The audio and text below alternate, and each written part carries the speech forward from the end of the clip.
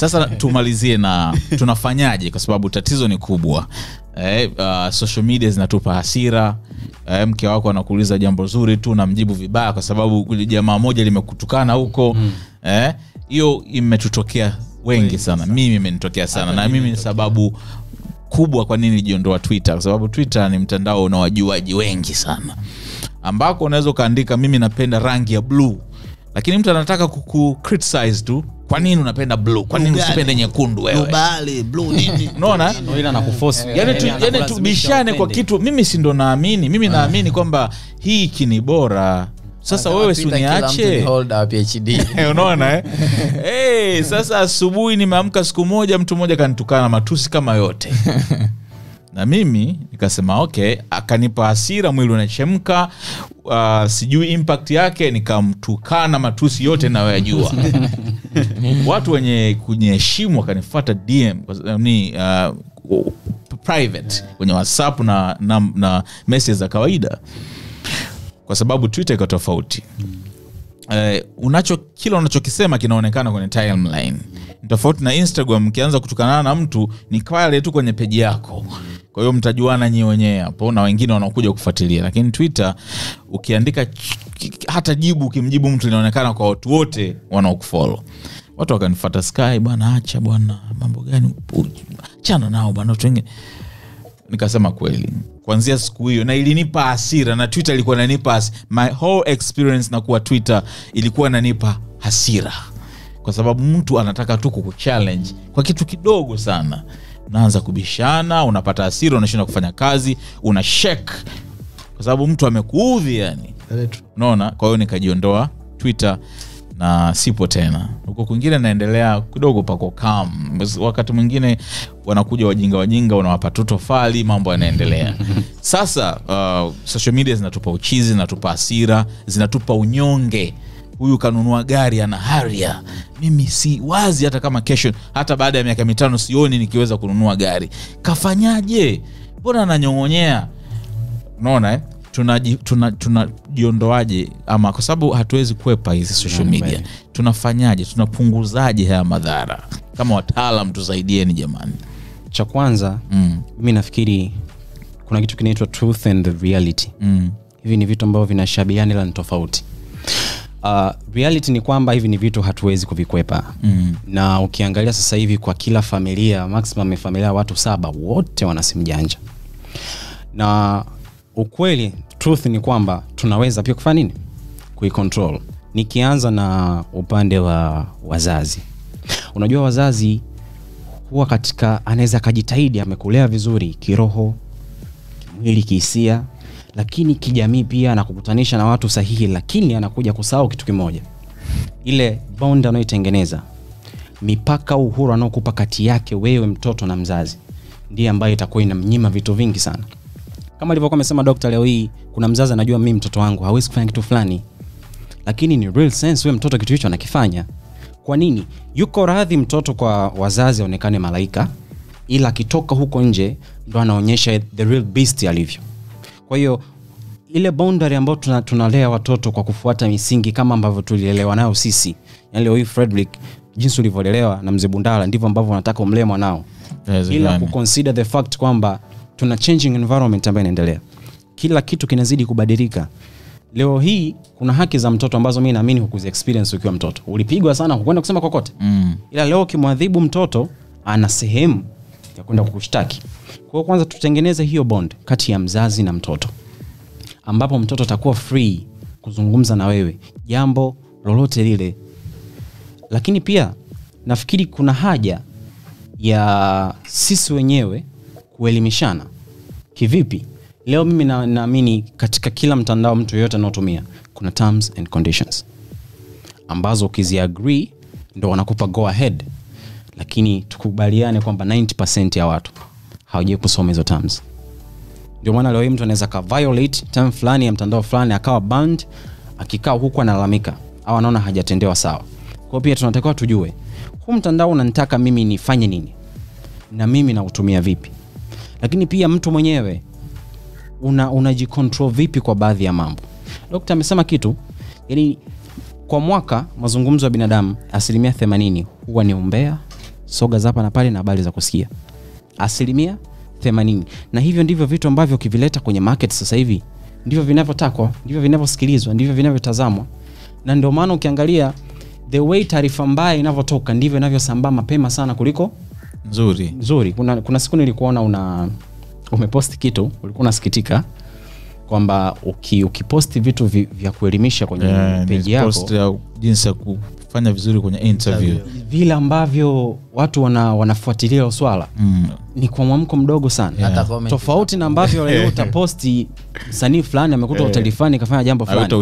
Ndani ya dakika tano nusu ya Dar es Salaam imeshafuatilia. Yeah. kwa hiyo pia ni namna tu ya kuwa na ile self control kwamba ni nini nafanyia na simu yangu? Ni saa ngapi nafanya nini kwenye nini? Shida ni kwamba tunachanganya kila kitu kwenye schedule ya kawaida ya maisha yetu. Mm. mtu leo hii ana uwezo wa kwenda one dakika 45 sio kwamba kuna kitu anakifanya lakini concentration ipo kwenye simu. Na saikolojia vizuri inatuambia mtu yoyote mwenye divided attention ni ngumu sana kufanya jambo likatimia kwa wakati mmoja.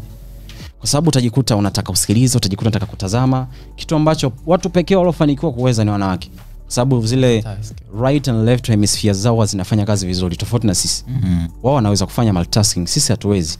Kwa hiyo tukianza kwa wazazi tuje kwa sisi wenyewe lakini pia kaelimu kidogo kuhusu ya maswala. Yani tuko so brainwashed na vitu. Tunaishi kwenye hallucinations na illusions. Nikimaanisha kwamba hatuvitazami vitu kwenye uhalisia wake lakini tunavitazama tu kama vilivyoletwa. Leo hii mtu anaweza akafanya tangazo la sabuni au la mafuta fulani kwamba yanalainisha ngozi sijui na nini. In real sense wamemchukua mtu ambaye tayari ngozi yake ni laini mm. na ni nzuri. Wamekuletea pale. Wewe unaanza kustruggle na makunyanzi yako huku kuhangaikia kitu ambacho yani katika hali ya kawaida tu kwamba ile ni mob psychology imetumika kwenye kutanga, kuni kutangaza biashara. Haipo hivyo kwenye uhalisia ila sisi tunabeba kama ilivyo. Naweza nikatoa mfano mwingine. Siku hizi utasikia wanawake wamekuwa wanalalamika sana. Kwamba oh, wanaume wetu sijui dakika moja tuchali. Mm. wanaume wetu sijui wana maumbo madogo vibamia sijui na nini. Ukifuatilia nijaribu kufanya ka research kadogo tukakuuliza tu watu maswali maswali kainta vitu kadogo. Unakuja kugundua ni athari za pornography. Yeah, sorry. yani mtu akitazama kule kuna maumbile anakutana nayo anaona mbona "Mm, huyu hana?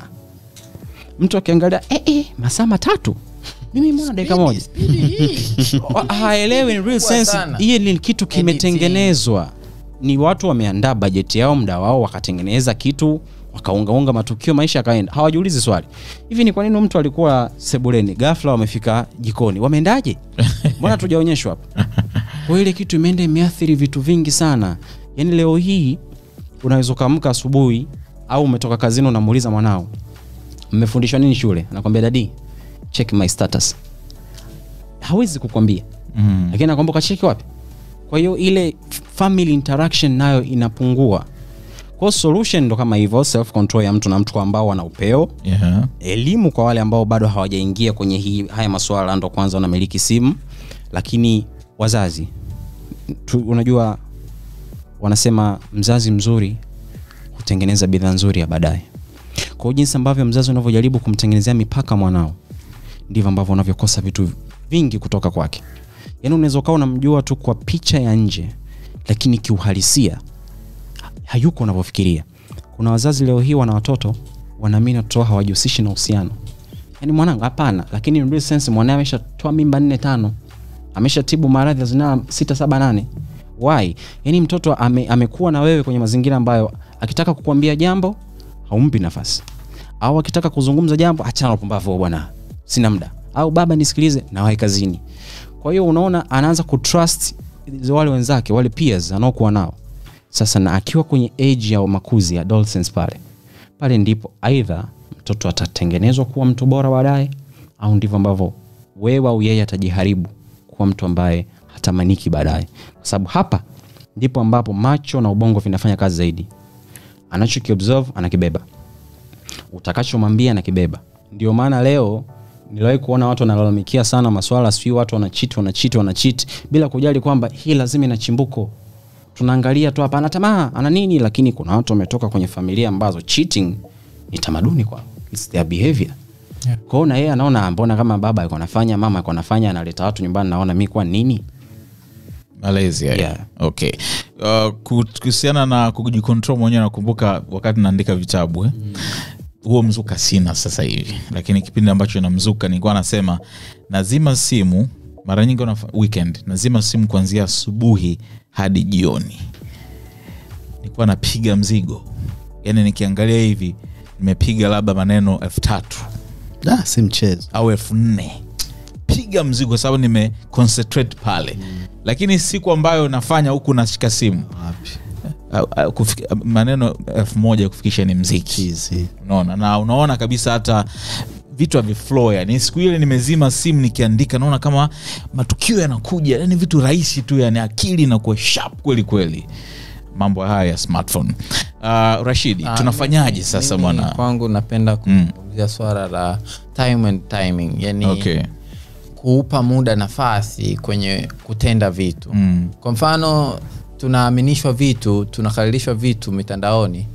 Nilishawai kupita mahari nikasoma kuna peji fulani kwamba ukifika miaka ishirini na tano angalau uwe na kagari chako vitu vifuatavyo. uwe na kiwanja uwe na sijui eh, nini una transporting akiba. identity sijui uwe na akiba angalau kamilioni benki tupe muda nafasi. Mm.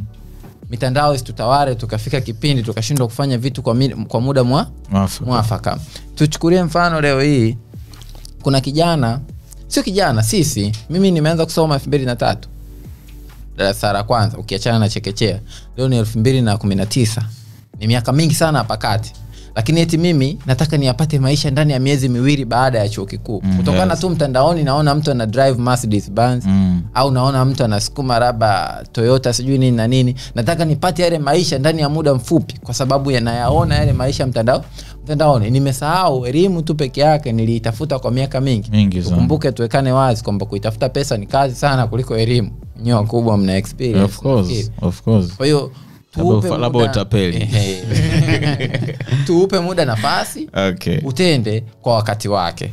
Kwa hiyo tujipe muda mitandao isitutawale tukafika kipindi tunaharibu uharisia wetu sisi kama vijana kama jamii. Dokta unashauri make mimi ni mwathirika. Najua. Nakiri kabisa nimwathirika nimekupa sinario ile. Yeah nina ikiamka tu asubuhi nitaangalia simu nafanya muda wote yani ni ni hivyo yani unashauri tutumieje yani yani labda kama ni time yani kwa siku mimi ni nigawe katika makundi ma, mm.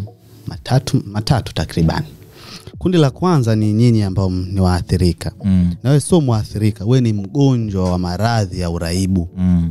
mwathirika na mgonjwa ni vitu vili tofauti okay kwa sasa hivi Fredrick Bundala ama Skywalker ni mgonjwa wa maradhi ya uraibu mm. uraibu uko aina nyingi uraibu upi wa mitandao ya kijamii mm-hmm. kwao tukianza kum, kumspecify sasa hapo sasa kwenye matibabu ya mraibu wa mara, uh, mraibu matibabu ya mraibu uh, a, kuna wataalamu wa kumsaidia. Lakini kwenye mitandao ya kijamii sana sana tu ni psychologist mtafanya cognitive behavioral therapy mtaweka yani dokta nataka kuniambia mimi kuandika muda mwingi niko instagram niko whatsapp kwenye magrupu ni, niende kwa daktari.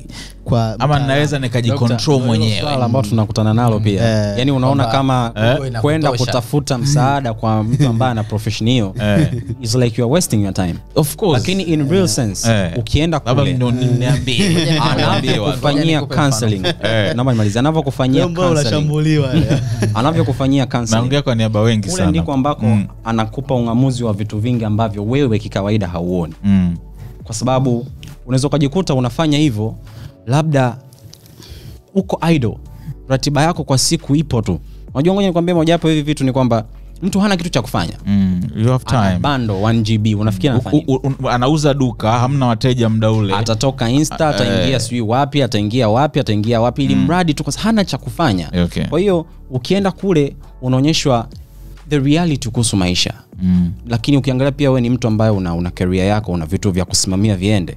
So ile ile management ya hivi vitu ukionyeshwa katika dunia ambayo wewe hauioni kikawaida Mm. itakusaidia sana okay na hiyo hauwezi kuipata kwa dokta Chachu kwa sababu Okay. ashakuwa mwanao atakutafute mtu mwingine rashidi hiyo alikuwa nataka kusema Eh.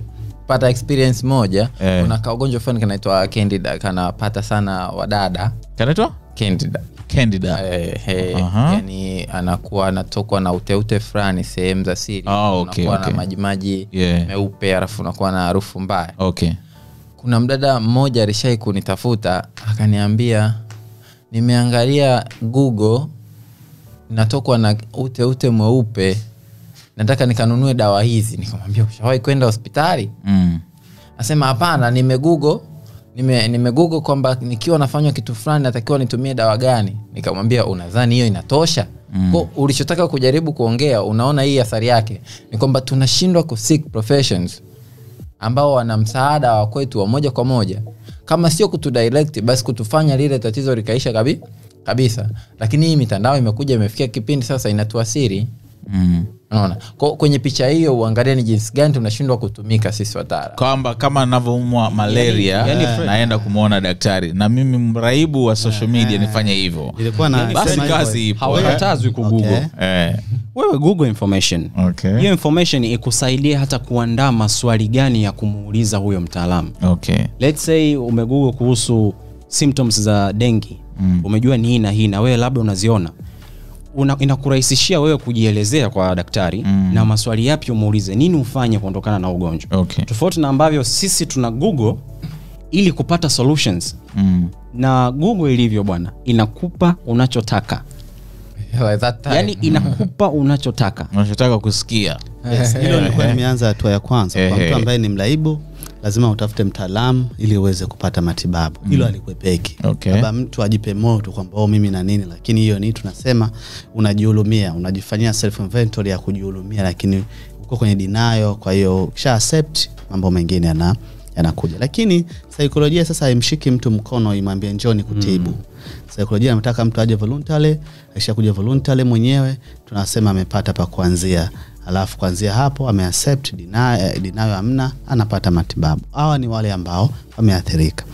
Wale ambao hawajaathirika sasa na haya maradhi ya mitandao ya kijamii ni namna gani ya kuweza kufanya eh, hiyo management self management katika namna ya kuweza ku- kutumia na kuweza kufanya vitu vingine. Utakuta kwa mfano sisi ambao tuna magrupu kadhaa utakuta kuna mtu mwingine kila siku saa mbili usiku mpaka saa tatu ndo unamwona anachati sana kwa hiyo ashajipangia la yake kwamba mimi ni muda huu mpaka huu kwenye hivi na hivi na muda huu mpaka huu hivyo. Kwa hiyo inakusaidia zaidi ili isikuingie katika hisia akili na kuathiri tabia yako katika namna ya kuweza kupata msaada. Hilo la pili. La tatu eh, tunapata platform kama hii ya smart Talk, sns na nini. Sisi ni wataalamu tumetoka katika vio vinavyotambulika. Tunaweza kufanya tunazungumza na umma tunaongea na dunia. Kwa sababu sns inafika duniani kote. Tunaongea na dunia katika kuwapa maarifa ambayo kama tuliowapa hapa. Kwa mtu ambaye amesikia mwenye hiyo shida amejua amepata pa kuanzia. Kwa sababu tumechochea ili amepata pa kuanzia atafute msaada wa karibu zaidi ili aweze kusaidika kulingana na tatizo ambalo yeye linamkabili cha nne wajue kabisa kwamba athari ambayo inakukumba wewe katika mitandao ya kijamii haikuachi tu wewe peke yako. Inaenda inaathiri kazini inaenda inaathiri familia inaathiri ndoa inaathiri hata watoto wako pia kwenye, kwenye familia. Kwa hiyo mtu ambaye leo hii yupo katika kuona kwamba mimi ni, mimi ni bingwa na mi siwezi najiweza na nini lakini akijifanyia self inventory vizuri kujitathmini bila kujihurumia atagundua kabisa kulingana maradhi aliyoyapata aidha kuna sehemu moja inaathirika aidha kazi familia ndoa ama vinginevyo.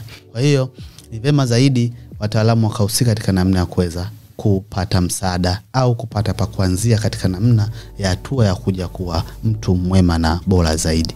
Kwa hiyo teknolojia isitufanye tukaa u- u- na kutokuwa na ufahamu wa kuweza kusema tuwezi kusaidika. Lakini vile vile watu ni wagumu kwenye kukubali eh? ilo lazima sisi tukubali. Nasiwa na saikolojia pia mtu unampangia mfano ratiba anakwambia kwa hamna vidonge. Hizo hamna vidonge hamna dawa hamna nini. Kwa hiyo ni vitu ni changamoto zilizopo. Lakini watu wa namna hiyo wanapata msaada. Kama ambavyo mtu alioathirika na pombe bangi na unga. Na mtu alioathirika na mitandao ya kijamii anapata msaada vile vile. Sana sana dr chachu unamf- we- pata, ukitaka huduma yake na ushauri wake dr dr underscore chachu ndo uh, hendo yake katika mtandao wa instagram ambapo yuko available muda mwingi sana.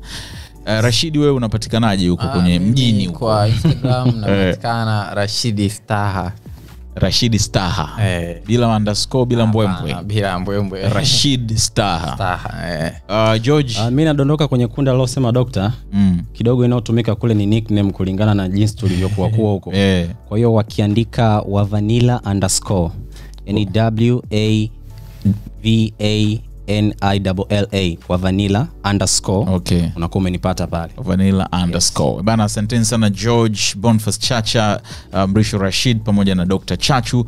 Mi naitwa frederick bundala skywalker. Bila shaka umejifunza uh, mengi kuhusiana na hiki ambacho tumekisema hapa. Uh, tupia komenti yako na tukutane katika smart talk nyingine. Ungependa nikutanishe watu wafani gani pia hapa tuzungumze? Basi nitapenda pia kusikia uh, suggestion zako ama ushauri wako. Karibu next time kwa heri